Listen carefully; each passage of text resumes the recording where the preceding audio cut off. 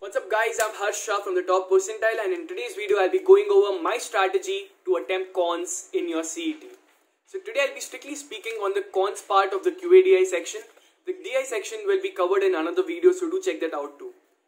So let's start by understanding what kind of questions you may encounter in the QA part of the QADI section. So this is based on last year's analysis, alright? So first of all we have 5 questions on number series, then we have around 5 questions on simplification or approximations. Then you will have around 10 questions on data comparisons, out of which 5 will be quadratic comparisons and 5 will be other quantitative aptitude comparisons. So basically the topics that we cover in QA. And then there'll be 12 questions which will be word problems. Word problems would basically mean arithmetics or uh, your geometry or modern math and things like that. And to top it up, there'll be 18 questions of DI and that's how your entire QA section is, you know, that's how it is formed. So let's let's focus on the QA part now.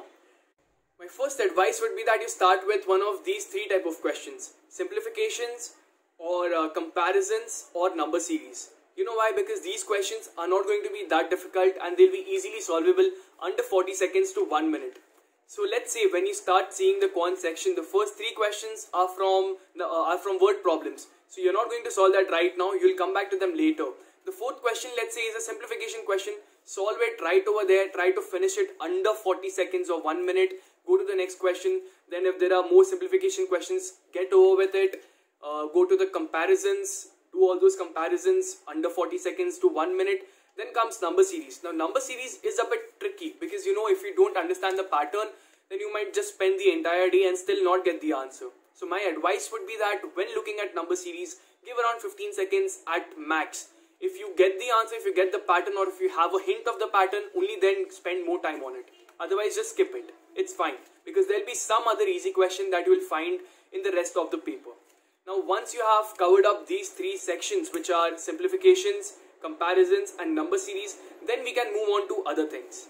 Now, what you will be left with is only the word problems. Now, out of these word problems, my advice would be to first of all solve only the easier ones, the ones that you are comfortable with, the ones that look to be smaller, or you understand how to approach that question within 5 or 10 seconds of reading the entire question. If you do that, I'm sure that you'll save a lot of time by not solving the difficult questions because, anyways, the difficult questions is what you have to skip. So, once you have solved the easy questions, then go to the medium ones and skip the difficult ones we don't want to spend more than 1 minute 20 seconds on any single question in the entire paper of a CET.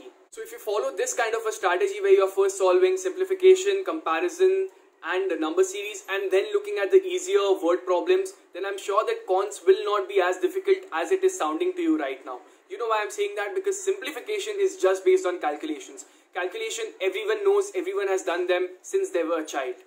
Then the next thing is quadratic comparisons. Quadratic comparisons are probably most easiest in the entire paper. We have made a beautiful video explaining how to solve such quadratic comparisons very easily in our course. So if you haven't accessed it yet, then do reach out to us for it. And then comes number series. Number series again, there'll be two to three simple questions in which, uh, you know, there'll be just addition, there'll be just subtraction or just multiplication and the entire series will be based on that. If you identify these questions and solve them correctly, your marks will definitely be guaranteed.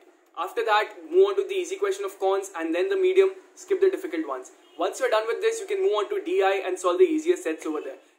Also check out our video on how to strategize an attempt for the DI section and I really hope that QADI section entirely goes fantastic for all of you. So that will be all for this video. Keep hustling and see you in the next one.